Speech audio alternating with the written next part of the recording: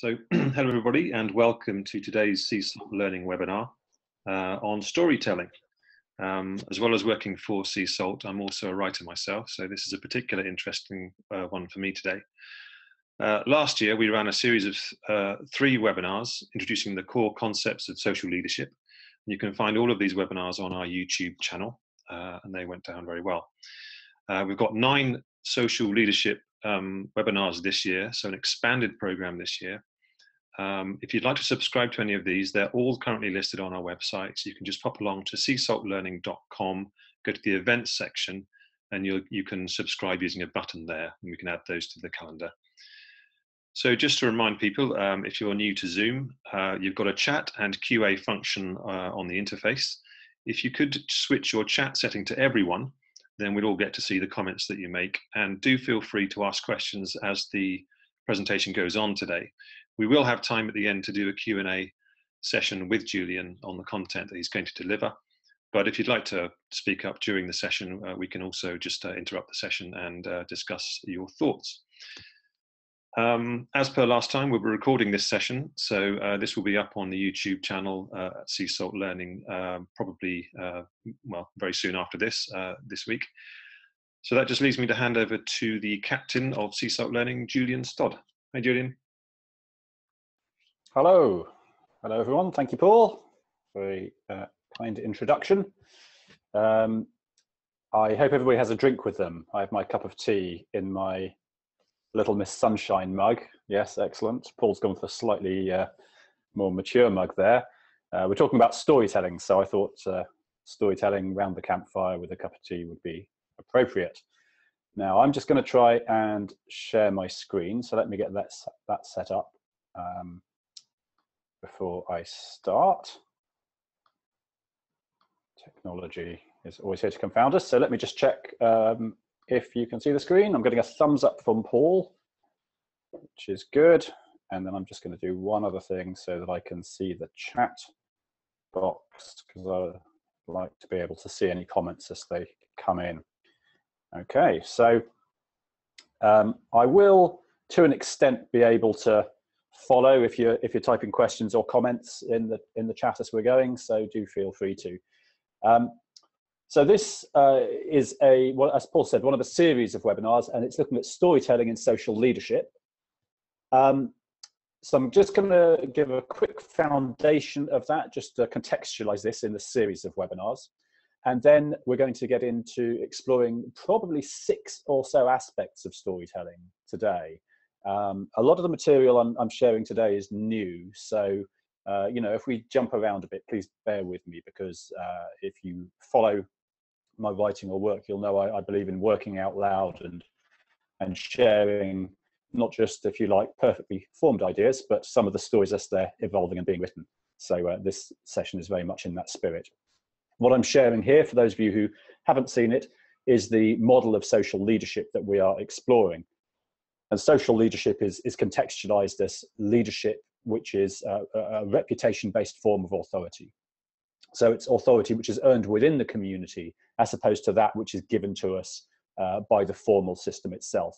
The model here represents really a kind of a loose um, collection of of uh, competences or skills which I believe social leaders would exhibit. You, you can take it as a development pathway, uh, it's, it's, certainly the, the pathway we're following through these um, webinars, uh, but it's not intended to be exclusive. It is, if you like, some defining traits of a, a social leader. Effectively, starting with choosing a space, curating a space and content, becoming a great storyteller. That's the uh, the segment we're exploring today. Obviously, learning to share wisely um, and widely, but largely speaking, to add signal rather than to add to the noise because we live in a noisy world. It then carries on to look at the communities we inhabit, the types of communities. And indeed, I'm very pleased to see, um, and uh, forgive me if I don't get everybody, but I think Mel, you're on the MOOC that we're running now. Um, and I can't scroll up to see the other names. I saw two or three other familiar names as well, I think. So the, a MOOC, a massive online open course, is another type of community space. That's a, a new experiment that started this week. Um, so we, we, we inhabit many different communities, many different spaces, and social leaders need to understand all of those. um, the reputation they earn through their actions will lead into their social authority. And with social authority, we can move into this blue segment at the bottom. We can look at the ability to um, to co-create uh, content. And I see uh, Mel and Melissa, sisters. So there you are. You can co-create a, a story for us um, uh, today, perhaps. And uh, we build social capital. Uh, and social capital is the ability to survive and thrive in this space. Um, it's really social leaders have a, a, responsibility to the community. They don't just draw from it; they contribute into it, and hence collaborate. So that's a. I just want to keep that quick, a kind of overview, high-level view of the social leadership work. If incidentally you're on this uh, call, if you're interested in this, if you don't have a copy of the social leadership book, if you ping a note through to me afterwards, I'll be happy to send you a, a, copy out. It's the the text that uh, this this uh, series of webinars is based upon. So again, just to show, we're here on number four, storytelling within um, within that series. And as I've already kind of hinted, this is a, a working out loud uh, session, and um, you know, co-creative, reflective. Um, I'm bringing together a number of aspects, uh, really for the first time. Uh, and uh, I'll start with this. It's actually an illustration from um, it's an illustration from the book, which should be out next month, which is called uh, My First 100 Days of Social Leadership. Gets down to it's all very well thinking about social leadership, but what do we do when it gets down to a practical level? Well, you know, practically, what social leaders do is they help us find clarity in uh, uh an ever busier and ever noisier world. Uh, and they do that through uh, sense making, an ability to figure stuff out, not just by themselves, of course, because in the social age, we're all connected to many different people in many different ways. And it's those communities which are sense making. So, to an extent, uh, that's really what, what we're doing in this community is we're trying to make sense of it. In a formal learning approach, an old approach to learning, I would be teaching you something and you would be learning something, and at the end you'd you'd pass or fail a test. But that that kind of model of learning is quite redundant today because we can just find stuff out ever faster. We can be connected to people.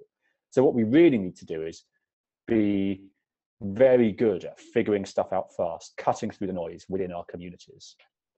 So with that in mind, I've I've sketched out these um, uh, these uh, seven areas, which we'll, we'll try to get through. We'll see uh, how, how far we get with it. But I thought these are important aspects of storytelling um, that I'd like to explore.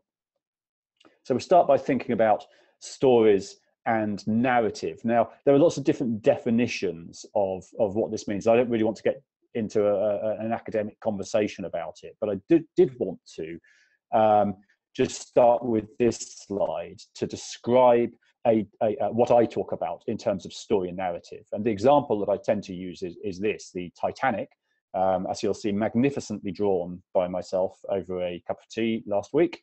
Uh, this is the Titanic steaming towards the iceberg. It's a well-known story. Uh, now, usually I'll say the narrative is the information architecture. It is, I guess, what you could call the, the facts of the matter. The Titanic was built, uh, sailed from Southampton towards New York, hit an iceberg and sank. Um, there is one narrative. Uh, there are many different stories told around that narrative, though. So one story is the, the daily newspapers that were written um, the, the day after reporting the sinking of the Titanic. One story would be the film made in the 60s. One story is the Leonardo DiCaprio interpretation of that, standing on the bow and singing that dreadful song. Um, and there's even a, a, story in Doctor Who, for those of you that follow that, where the TARDIS runs into the Titanic. So, you know, the, the narrative is essentially the same. The Titanic, in that case, is a spaceship, and the, the iceberg it runs into is the TARDIS, but it's, it broadly is recognizable for what it is. The reason I'm making this differentiation is because um, very often uh, we, uh, when we're sharing stories in organizations, what we really want to share is the underlying meaning, the underlying narrative. But we often get very fixated on the story itself. Organizations are very good at telling formal stories, you know, those which are written in glossy brochures and, and pushed out through formal broadcast channels. Whilst actually there are lots of different types of stories and many of them are more magnetic than those formal stories. They spread through the system faster. If we think about the three I really just want, to focus on three levels of stories, three types of stories represented by the, the circle in the middle here. Personal narratives are you know, personal stories of learning and change over time. They're the stories that we all individually tell. Uh, co-created stories are uh, those which are written by a community. They're where we come together, sense-making stories. So they kind of um, take all of the individual narratives and bring them together to some kind of consensus view or opinion. Although, uh, I mean, they don't have to be about consensus, but they represent the, the breadth of views held by a community. Organizational stories are those which the organization writes. And historically, organizations have tended to start here. They started at the organizational level and they kind of cascaded stories out. They pushed stories out through broadcast models, out through the community. Today, a socially dynamic organization won't do that, or at least won't do that all the time. It will spend a good deal of time supporting people individually with their ability to capture and, and shape and share their personal stories. It will work with communities to empower and enable them to co-create and write their stories. And only finally will it come together and write the organizational story based upon that. So um, that's really why I wanted to, to, to, start with that piece there. I'll, I'll also, um, I just brought this in here. It, it, it's interesting, when we set up the webinar, these are some of the things that people uh, said they would like to talk about relating to stories. And I, I thought it, it was, it's kind of behind the scenes, if you like, but I thought it was worth sharing because it really illustrates for me the broad range of interests that we have in storytelling um, you know, people recognize, I think, inherently the power of, of stories. And, and what we see here, we want to use stories to support change, stories to support learning, stories to support sales. Uh, people just a sort of general interest in how stories work. Um, and uh, the thing I really liked, of course, was down at the bottom here, learning the art of storytelling. Well, you know, quite right, because storytelling isn't particularly a, a, science, although you know one can of course learn mechanisms of storytelling. We can learn about the psychology of it, the neurology of it, you know, how a story is processed in the brain. But none of that will make us a great storyteller. What will make us a great storyteller is the strength of our narrative, the authenticity of our story, our ability to choose the right mechanisms, the right media, the right modalities to, to share our stories with to make those stories timely and relevant uh, to those people around them. Um, authenticity is something that we'll come on to talk about later.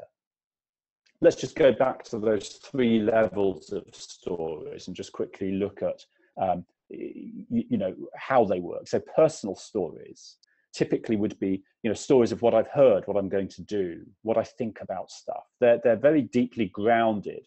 These are not high level meta narratives. These aren't broad organizational brochures and stories of change journeys. These are quite gritty, everyday, grounded stories in my everyday reality. Now, in the social age, the mechanisms of storytelling have been substantially democratized. So, you know, personally, I write uh, a blog every day and I don't have to ask a permission to do that. I don't have to, in fact, pay anything to do that. I use WordPress, which is one of the many free blogging sites. It's um, it's a democratized capability, and that democratization is a, is a key part of how um, individual stories and community stories challenge the authenticity of organizations. And it speaks to the challenge of why we need social leadership. Formal leaders can't exert influence in this space. Uh, indeed, by attempting to do so, they just make the space formal or kill the conversation off. If you work for an organization and you write a blog about your personal experience, I would argue that the organization has no right, unless you're breaching some confidentiality clause, if you're just reflecting on what you're doing, there's no right of an organization to impose itself in that space. But you may give them a permission to engage in the conversation. I had a fascinating story this morning. I was talking to one of the, the, the big uh, oil companies, and uh, they told a story about a very successful, high revenue generating product that they have um, for tracking effectively where their resources are around the world. And the story they told was of how that product got developed, how it got innovated. And it got innovated by somebody becoming so frustrated with the internal system blocking them that he went outside the organization and he crowdsourced, crowdfunded, and built the prototype of the product and then came back and showed it to the organization that decided they wanted to buy it he said it was easier to go out and operate outside the organization in the arms and support of his community than it was to innovate within the organization. And that's uh, staggering. You know, his story is one of deep authenticity and effectiveness and the desire to be effective and of being prevented from being effective by everything the organization put in front of him. Um, so personal stories are very powerful and often move faster than organizational stories do. Co-created stories are, are, are very interesting in, in terms of social learning, or when we think about the tacit tribal knowledge that sits within communities, be they uh, small teams, uh, be they uh, engineering populations, these, um, these communities tend to actually hold a great deal of the wisdom and one could argue value of an organization in them.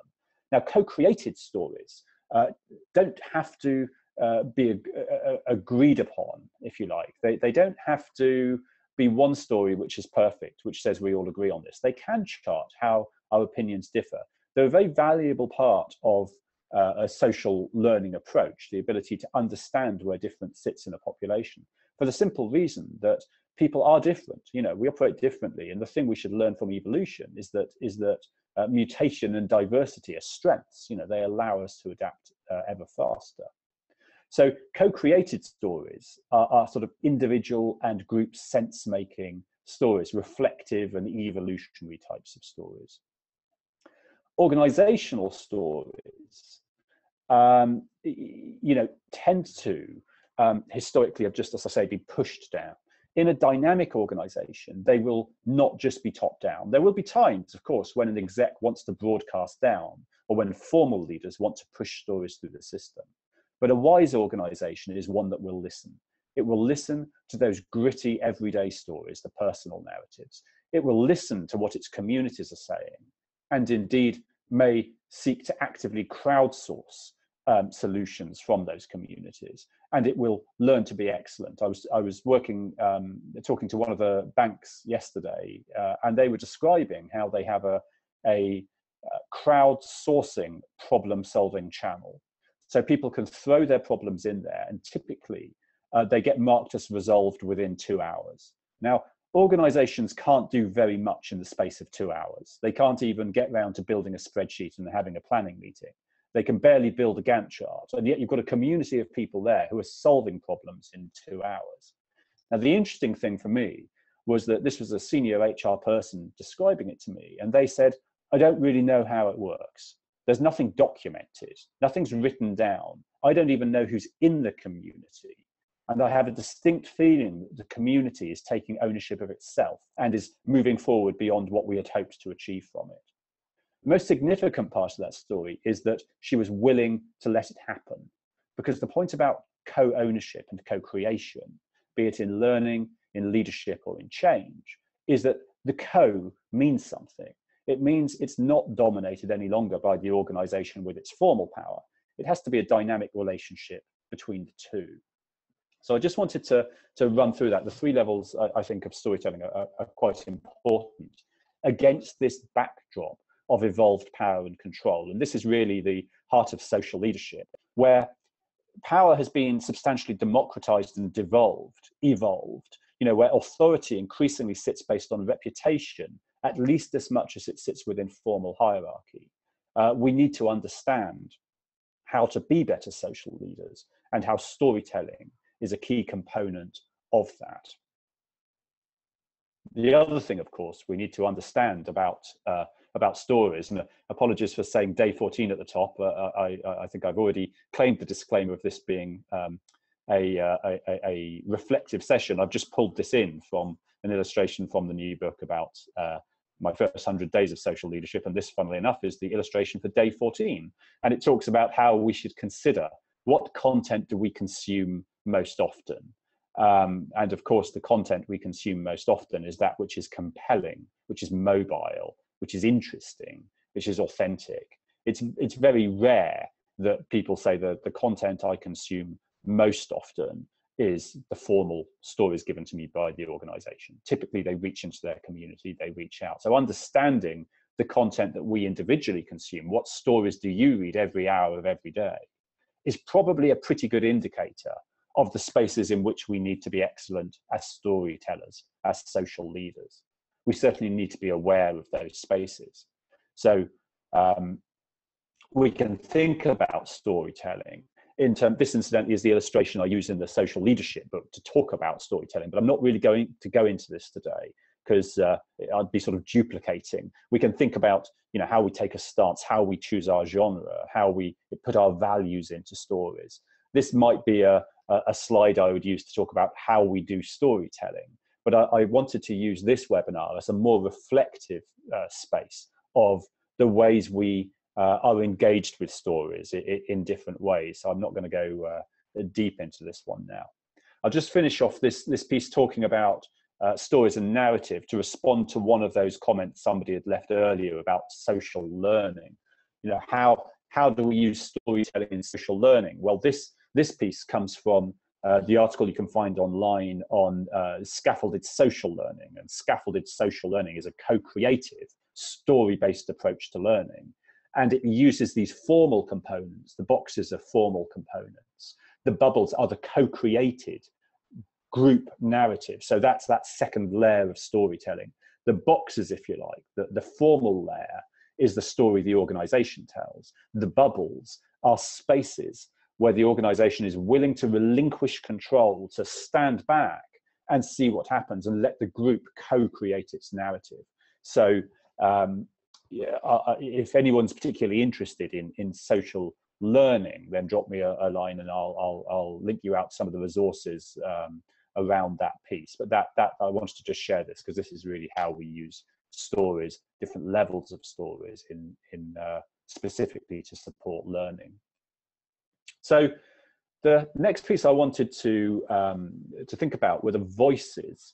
Um, you know, where where do these voices sit? What are the stories that we are hearing in the organisation? Well, I've I've been um, I sketched this up quite recently and I've used it to talk increasingly about the core challenge of the social age, which is the interrelationship, or what I call a dynamic tension between these two entities. The, the formal structure um, on the left, the, the boxes, the sort of uh, pseudo organizational chart, represents everything within a formal organization.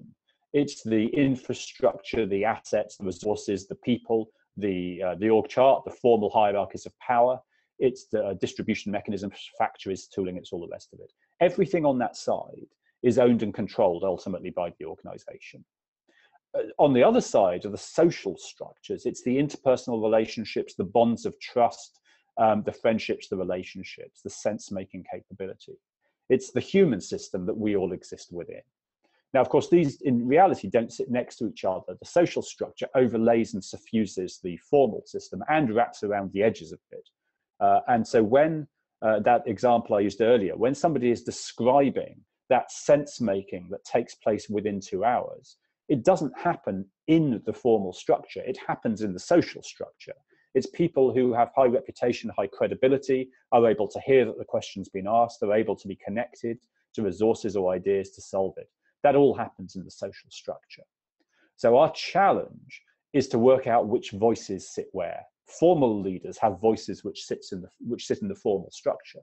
Individuals who have no formal leadership have voices that sit in the social structure. Um, and it's finding those different voices and bringing them together. Indeed, this is a slide I use in the change work, but I brought it in here because it represents the fact, you know, there are two, there are always two different perspectives on any story in an organizational context. There's the organizational story, and historically that view dominated. But increasingly today, the individual stories are relevant. And it's the way we bring those together um, that we can co-create that future, future state. The stories are, are quite interesting. They're not all level, they're not all equal. They can be given mass and momentum. They can be given power through a range of factors. So they can be given power uh, through formal authority. if somebody is a senior leader, that does imbue their story with a certain type of power, but not the only type of power. Uh, if somebody has great authenticity, if they are deemed as um, you know being very credible in a space, then their story has great power as well. But it's a socially moderated type of authority. There's an interesting case playing out in Northern Ireland at the moment about a, young girl, a 14 year old girl, who is in a legal battle with Facebook. And she's in that battle because she, she is claiming that Facebook has a responsibility to prevent photographs that she had previously shared from continuing to be shared. And those are the kind of photographs that are the result of a, a mistake that any teenager might make. They're not stories that she wants to be shared. Now, that's tied into a battle between government and internet service providers uh, about who is responsible for the content that's shared. Now, nobody's yet willing to impose that responsibility fully on, on the organizations like Facebook. So we end up with an interesting situation. Facebook will almost certainly win the legal battle, that they've taken due steps to prevent that story being shared. But ultimately, um, they will probably win the formal and the legal battle but they will absolutely not win the social reputation and authority because a 14 year old girl who doesn't want that type of photo shared clearly has the moral supremacy in the argument. So stories are given different types of power. And a key feature of the social age is the balancing effects of that. Social authority isn't an effect of mass and momentum. It's a, it's a feature of authenticity and fairness. And in this case, she has that on her side. So stories kind of battle for power and control, both within the formal system and also outside and around it. And of course, we can relate this to what we're uh, seeing in, in the US at the moment, which we might have time to touch on later, the, the new ecosystem of, of stories um, as we move uh, into a whole new, uh, whole new era. Of course, um, stories are, are shared through formal channels and social. So we'll get on later to look at some graffiti. Um, but the interesting thing about stories is that if they're not given a space, people will claim a space. And graffiti is interesting in that context because uh, it, it, sometimes I describe it as the, the, the last voice, the last voice which is claimed by people who are given no other voice or space to, to speak in. So if we don't give people permission to be authentic and share their stories, they will simply claim a space. You know, this is another representation really of how stories sit within organizations. Formal stories may be anchored to your desk in a particular place within the hierarchy. But of course, social stories, that social structure which flows around it, is no great respecter of formal boundaries. Um, you know, you could almost describe, uh, historically, we might have called that gossip but actually it's not gossip. It's sense making. It's the wisdom of the tribe. It's the, the, the flow of stories through the formal organization. So you know what's the role of storytellers in the social age and indeed of social leaders as storytellers? Well i'd argue that the role of social leaders is not to amplify and spread formal stories your formal leaders can do that. You know, if an organization wants to say this is the change journey we're taking or this is what we're doing this month, that's okay. They have formal channels, they have formal authority. They can push that formal story through the system. Social leaders have their finger on the pulse of the organization because they are within those communities. So I think that the role of our social storytellers and our social leaders, our social storytellers, are to weave stories of difference and similarity to say, part of a group believes this and part believes that. Their role isn't to judge it, it's to recognize and accept that difference. Now, one of the other questions that came up earlier was around uh, change in the NHS, the National Health Service in the UK. And I'll use that as an example, although it would relate more widely. Um, the NHS is sort of characterized by being too just massive, too big to change, with very high tensions between what are deemed as deeply authentic caregivers uh, right at the front line of healthcare. Um, people who are held in high social regard by the community, the doctors, the consultants, the junior doctors, the nurses, and the political masters, the accountants, the management, the bean counters, who are deemed to be sort of inauthentic or have low credibility. So the system as a whole is gridlocked um, in terms of change you find interestingly in the NHS pockets of extreme innovation and extreme excellence, but overall at a system level, a deep resistance and inability to change. Now, storytelling can help us to cut through that, but only and crucially if we are willing to engage in the difference. Um, for as long as we remain within our own communities, and this really is the, the parallel with what we're seeing in the US at the moment as an interesting development, as long as we retreat into the, uh, the we can call it an echo chamber, or we can use a, a sort of sociological language of uh, confirmation bias, as long as we stick within those communities of people who share our views, we are unintentionally, but very deliberately reinforcing our difference. And we are perpetuating the lethargy and stagnation of, of the organization. Social leaders can help to bridge that by at least seeking to document and understand areas of similarity and difference. So in the other body of work I'm, I'm, I'm just finishing off the book on at the moment, around change, we explicitly uh, look at this. And if you're interested in change, it's a really um, important area to explore. I'm going to just jump over that one at the moment because uh, time keeps ticking by. We're halfway through and uh, I've got lots more I want to get into. So I want to talk about just authenticity um, as a, a, sort of foundation piece. You know, authenticity is interesting. It's talked about quite a lot at the moment. I take a fairly uh, pragmatic view uh, because, uh, despite being an optimist, I'm also a pragmatist. Uh, authenticity is the kind of root of your um, actions. It's what sits underneath it. Uh, if you have authenticity, it will be reflected in your actions. Uh, if you take actions which are out of kilter with your um, deeply held core values, then, uh, you know, like it or not, you're not acting authentically. And the thing about authenticity is it's not a it's not a, a precious gem to be hidden away and locked up and never shared with the world. It's something which flavors every moment, everything that we do. So you kind of have to wear it on your sleeve and, and have it out there. Um, you can't uh, buy authenticity. Indeed, trying to buy authenticity can be very risky. There's an interesting story in the news actually this week in the UK about a bookstore chain. So we have a sort of an old bookshop chain called Waterstones, uh, which is uh, probably a little like Borders was in the uh, in the US. Um, but you know, a big big bookstore it has uh, bookshops on many of the high streets. It sort of emerged this week that on three high streets in small towns or villages, it's operating bookshops that look like they are local independent traders.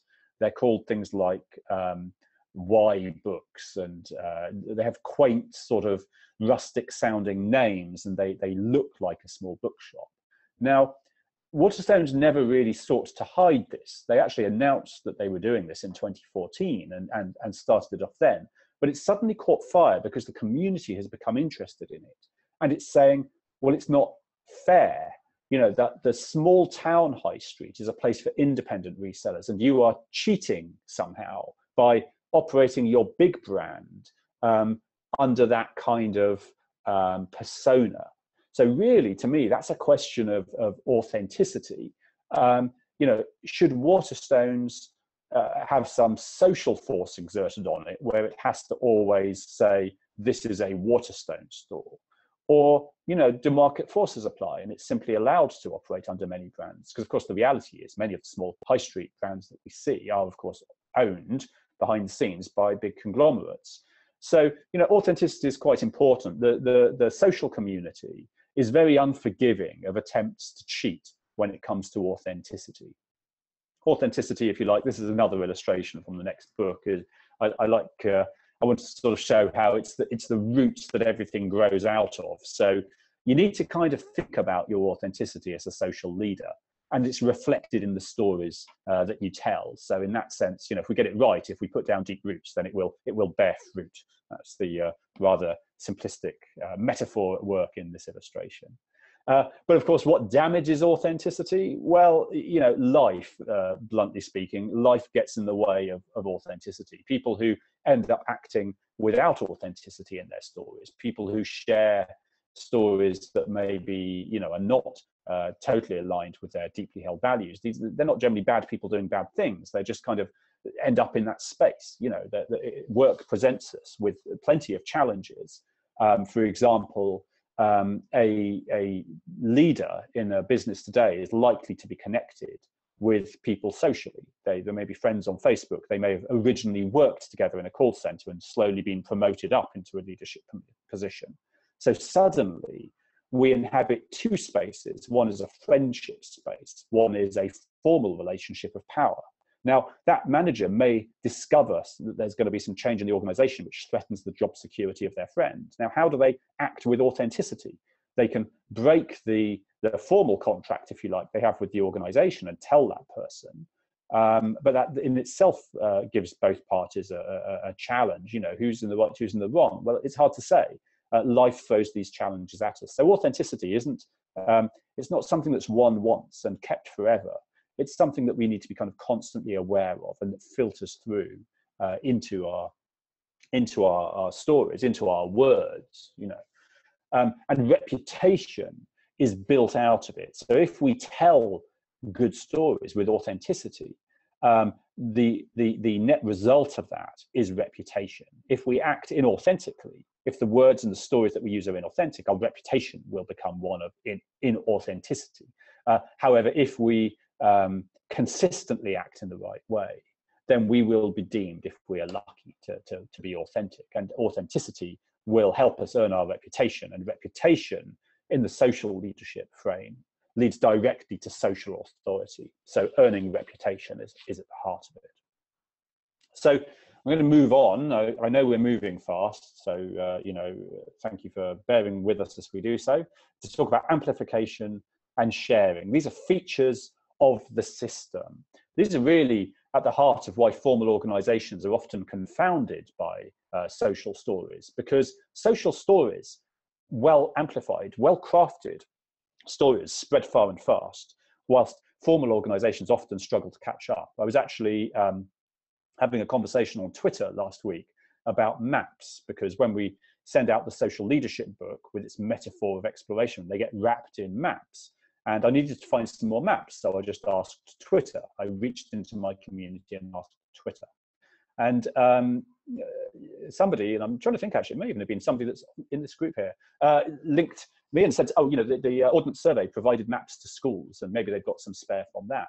Now that conversation happened last week and only on Monday morning at nine o'clock did the Ordnance Survey engage in the story. Now, you know, that's fine, good on them, they engaged in it, but uh, they were a bit late to the party because social stories don't play by formal rules. They don't operate nine to five. In fact, my instinctive reaction when they engaged was, oh, you know, that's like an old story. That's that's kind of gone now. It's finished. Because uh, stories, of course, are, are reasonably synchronous quite often. So understanding the speed, the pace, the momentum of stories is is quite important, and equally understanding um, understanding the, the, the way the community is structured. I, I um, use this one. If you are um, particularly interested in community, uh, the second webinar from now will be on community. And I think there's um, one up on YouTube already which touches on this. Uh, it, it, really explores how community isn't level, it's not flat it's uh, it has nodes and amplifiers. Uh, they're often contextual, but people who are well connected, people who are sense makers, people who have particular expertise, people who are particularly well connected. Indeed, um, if we look back to curation in social leadership, we choose the space we want to be in. So uh, if you want to be the person that's great at uh, managing finance or the person that's great at project planning or the person that has particular expertise in the science subject, you would choose your space, you'd curate it and carry out all of your activities in line with that. But to understand amplification, we have to understand where the nodes are within our network because it's through these nodes that stories flow. Um, so it's really uh, important to understand the mechanisms of, of, of, that. And of course, key to how stories flow individually, a, a, skill for social leaders to learn is to make their, is to interpret um, what they're given to make their story relevant to the context of the individual and timely. So the interesting thing about stories is I could share something with you, which is extremely interesting, you know, here's hoping, but it might just not be timely. It's just not relevant for you at the moment. In three months' time, it might be very relevant. Uh, so then you'd need a way to access it fast. So the timeliness of stories is important. Organizations, of course, are, are often very bad at this. So they work on a notion that when you start, they'll train you up with everything you need, and then they kick you off and, and sort of expect that you'll remember it in six months' time when you need it. Whilst out in the real world, um, our relationship with knowledge itself has changed significantly, much more on demand, contextual, um, just uh, provided to us, uh, much like really me reaching out onto Twitter asking where I can find some maps. I could have Googled it. In fact, I did Google it. I bought some on eBay, but I also reached out into my community. That's how we find things out. So for our stories to be amplified, um, they need to be relevant, they need to be timely. And this slide, I, I, dropped this one in at the last minute because, again, a, a, couple of those questions that have come in talking about change. You know, how do we how do we uh, use stories in change within organisations? Well, like this, we all have our individual stories, but we find uh, a shared story together, and social leaders can help with this, bringing together these stories of difference, these stories of similarity uh, within a narrative framework and building a shared story. Indeed, I, I sometimes use this one to talk about or, what organizational change should be, is not some monolithic change process imposed on the system. Really, uh, the organization should only seek to frame the change. And true change is a whole load of aligned learning stories running through in fact, this is relevant with the MOOC that's running at the moment. I rather like MOOCs. This is the first one that I've run because there's something like 250 people going through that, but they're all building their own narrative. They're all finding their own way through it, but they're doing so within a community. So really, this is what a, a social learning experience looks like. It's 250 separate uh, created narratives and then a community that surrounds all of those uh, pieces. Now I'm going to keep moving at a pace, if I may, not least because I'm really keen to get to the last section, which has some graffiti in it. So we'll uh, we'll move on to think about signal and noise. Um, I, have said, I think earlier, that a role of social leaders is to filter signal from the noise. And that's because we are in this increasingly noisy world. We need to be able to figure out what's valid and what's relevant at speed. And a great way of doing that is through our community. Um, obviously quite relevant at the moment, um, the ongoing discussion about uh, President Trump in the US and how he came to power and how he will exercise power. And uh, I, I, used this in, in an article that I wrote uh, a few weeks ago about the communication ecosystem which he's operating within. Um, typically, our formal organizations and indeed our political systems um, are built on uh, this old model of in, individual on the top left here into formal media channels. So, uh, you know, individual politicians work within a system, and the formal media takes what they say and interprets it. They write the news effectively, and then they broadcast the news out to the rest of us, and we respond to it. That's a traditional model. Of course, what we've seen in the last few years is that in parallel to this, um, as people share their story, or in fact, more often, in response to the formal news story, the community gets around it. It does its fact checking, its sense making, it responds to it. It creates a socially moderated story. The interesting thing that we've seen, obviously, in the early days of, of, of President Trump's um, reign uh, is that he has chosen to recast deliberately this picture. He has moved this arrow, which points down to formal media, and uh, he's pointed it over uh, towards social media and said, I'm actually engaging directly with my audience. And indeed, he's cast the formal media as the villains of the piece. And you know that's that's quite interesting. It remains to be seen how that will play out. Now, um, Harriet has uh, asked here, see a lot of channels old and new. Where does sources and facts fit in? Well, you know that's a really fascinating question. Uh, I can only give you a couple of a couple of light responses to that. One is that it's clear in this new world that understanding validity is important. You know, anybody that takes what they read in any channel um, as as uh, God's given truth is is is probably at risk of uh, of getting themselves caught out. So in our education systems and in our sense making ability as leaders, we need to understand validity. But there's a flip side to that. We also need to understand that validity does not just come from the old mechanisms that it came by. So if we think about science, uh, Western scientific methodology has run for 2,000 years on a process of hypothesis and experimentation and review and publication with peer review. And that's given us all the scientific and academic journals. That um, traditionally is a source of validity. It's valid because it's been peer reviewed, it's been scrutinized, it has, it's replicable. Now that's, uh, that's very good, but we've seen the emergence of Wikipedia as co-created uh, knowledge. Now, there was a view uh, from the universities that it was no good because it wasn't valid. So, you know, students weren't allowed to quote it. But if you look at the, the research from uh, nearly two years ago now, comparing Wikipedia to uh, the journal Nature, across 42 hard science subjects. It showed that Wikipedia uh, had two ser uh, three serious factual errors and uh, Nature had two serious factual errors. Wikipedia had 170 minor factual errors odd, and um, Nature had about 150 minor factual errors. So um, the old model of inquiry and validity was more valid, but Wikipedia is learning to be valid. It's, it's the cognitive surplus of, of billions of individuals putting it together. So um, I, I, kind of can't give you a straight answer to your question, Harriet. Um, I think that sources are very important and understanding the validity clearly of sources is important. And even video sources, we can no longer take uh, at their word. I think it's very important to um, understand uh, echo chamber effects. In, in uh, uh and if you're interested in this, uh, you know the sociological feature of confirmation bias is interesting. So if you take a group of a thousand people if you uh, a community of a thousand people and you ask someone how many people do they know well in that community they will consistently overestimate the number of people that they know and that happens at scale so everybody assumes they know more people within a community than they actually do and when we uh, listen to the news that's going on around us those things which confirm what we already believe we give greater uh, cognitive weighting to. So it's called confirmation bias because it broadly means once I've made up my mind, uh, the things I hear in the ecosystem will tend to reinforce that view and crucially will tend to make me think that I am more right.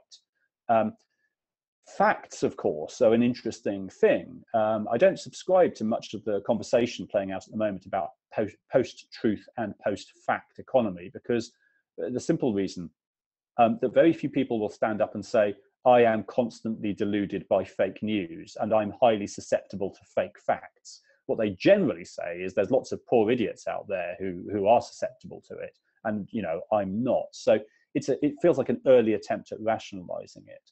I think what we can say is um, that facts have never been diamonds formed over billions of years and, uh, you know, sort of carved out of stone. Um, in, in a scientific context or indeed in a societal context, the fact is typically the best guess we have at the moment, uh, but it's always susceptible to disruption. So it's a fascinating topic, and of course it sits at the heart of authenticity and, and storytelling. I'll move on from there, but you know, keep that thought live and, uh, and let's stay engaged around, around that. I think I'm going to move on. I'm going to move on a little bit fast if it's all right with you, because we've only got uh, 10 minutes left and uh, I uh, we've covered some good ground, but I wanted to. Um, I think I'm going to take us right through to the last section. So forgive me avoiding filters and pollution. I want to talk about storytellers for the simple reason it'll give us a chance just to look at how some stories work uh, out in the world. And the reason I'm sharing these is because a key thing we need to do uh, as individuals, um, as social leaders, and within organizations is to experiment.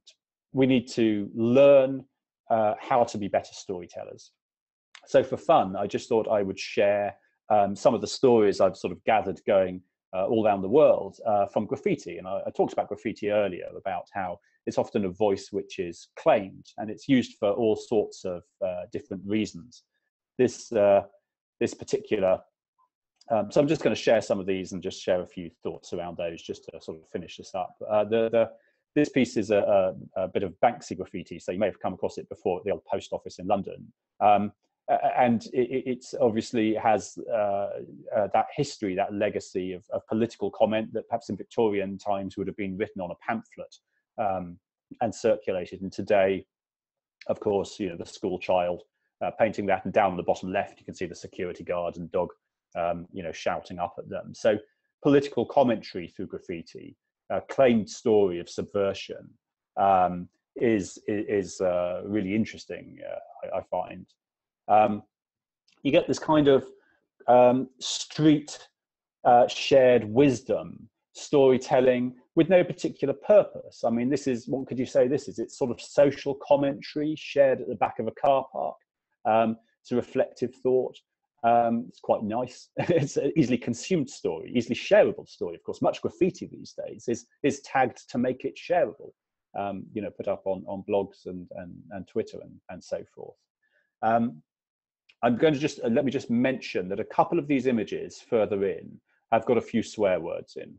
Okay, so there's nothing uh, there's nothing too obscene, but I'm just uh, wanted to mention that in case anybody's watching it in an office, there will be a couple of swear words. So um, I'll, I'll try to warn you when they're coming up, and uh, please take them in the spirit intended to uh, look at this. This is interesting. It's a memorial uh, graffiti. You see this. This one's in um, San Francisco. Um, there's uh, a few spots in in San Francisco that uh, that have a, a lot of um, often gang related memorial type uh, graffiti. So stories of remembrance. Um, I found it interesting being in New York uh, after the Twin Towers came down, looking at how the early memorial um, for the Twin Towers was cast in bronze and shows the firefighters washing um, washing their faces in a fire hydrant. And it's interesting because bronzes have this sense of churches and uh, the memorials of the First World War and the Second World War. They're typically um, longer term, literally hard cast stories that last a long time. Um, this type of memorial, like a graffiti, a sketched uh, story, uh, tend to be more disposable, tend to be faster moving. this is a piece um, of quite widespread graffiti in San Francisco, which speaks of social unrest between the um, between the uh, big uh, tech companies, Google, Facebook, Twitter, Uber, and so on, and a large and disenfranchised homeless population and uh, a, a, whole layer um, of more uh, impoverished individuals that sit underneath it. Uh, and feel they are being forced out of their housing, out of their neighborhoods, out of their communities through the vast purchasing power uh, in housing and in commodities um, of, of those people. So there's a whole series of pieces there uh, which uh, tell that story, claim spaces to illustrate that fight between uh, the two. Uh, this is also actually in San Francisco. I quite like it.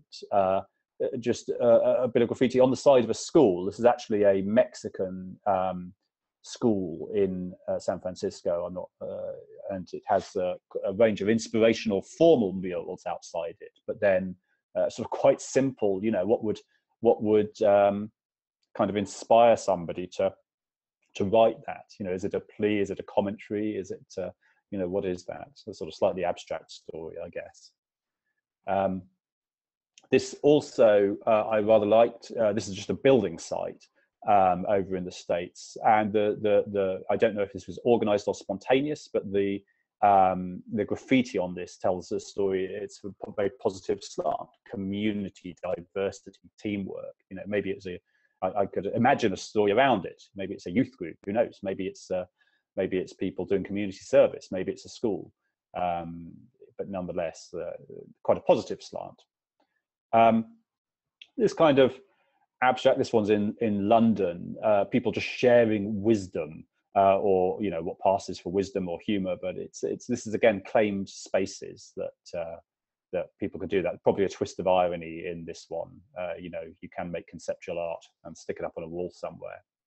Um, this, you know, much sort of harder end of things. This is about the San Francisco Police Department um, uh, shooting uh, young people. So this is, uh, you know, clearly uh, very direct uh, story. It's a protest uh, voice. Graffiti is often used for protest, um, sometimes in terms of beautiful art, sometimes much more blunt kind of stories. So the next slide, as I've mentioned, has a little swearing on it. So I just sort of warn you. But you know, again, this is one of the alleyways in um, in San Francisco. It's interesting, really. It uses fonts, um, which are sort of typically a feature of high design work, so publishing and printing.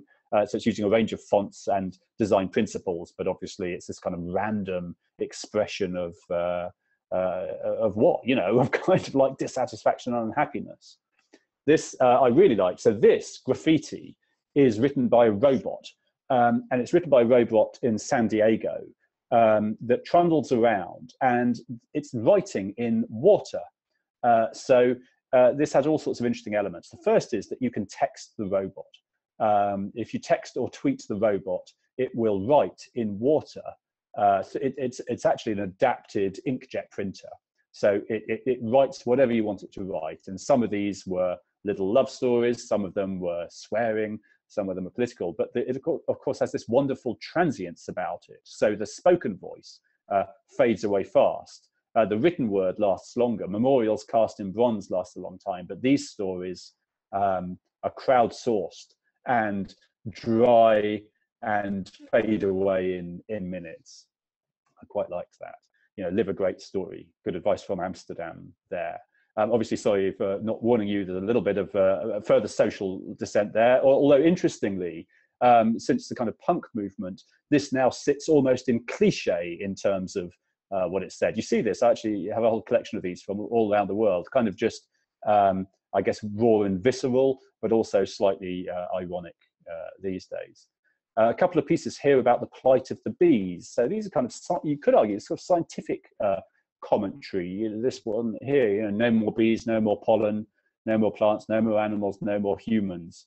Um, and the bee saying, save me. This one's up in uh, Shoreditch in London. And interestingly, um, you find spaces where graffiti tends to aggregate storytelling spaces for society. Now, I think we're running uh, short, running out of time. I'll just uh, share uh, one about refugees another one about uh, money. I quite like this. Uh, this is a sticker campaign um, around the Netherlands. I love Iran, but this uh, th- this one has already been subverted by somebody who also loves Tirana, um, which I don't know if that's a place or uh, his girlfriend's name or her girlfriend's name, but uh, I liked the way it was subverted. And of course, uh, sort of ad hoc warning graffiti stories of severe death. So on that note, um, I will uh, wrap up. Thank you for bearing uh, with with us through a little tour through storytelling. Um, really, I think Paul is back with us here to bring us uh, back back to reality. And uh, uh, there you go, Paul. Great, thank you very much, Julian. That was a, a tour de force on storytelling. I really appreciated that. Um, just got a couple of seconds before we finish. Um, if there are any other questions to ask.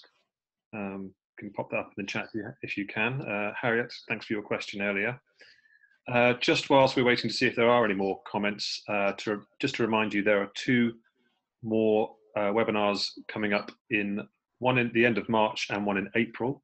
Uh, the one at the end of the March is on sharing, uh, and that's at the same time on March the 28th. And then we have one on community, as Julian mentioned, on April the 18th. So they're coming fairly thick and fast this year. So I do hope we can see you there as well. So um, we're coming up to the hour. I don't think we have any more questions today. So thank you very much, Julian, for the presentation, and thank you all to, to the viewers who've been watching this today and for your participation. Hope to see you again on the next Sea Salt webinar. Thanks a lot. Bye for now. Thanks, everybody.